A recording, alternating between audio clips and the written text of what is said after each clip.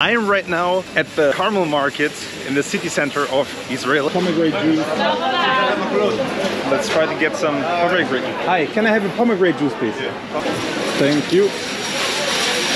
How much is it? Alright guys, pomegranate juice, 100% organic.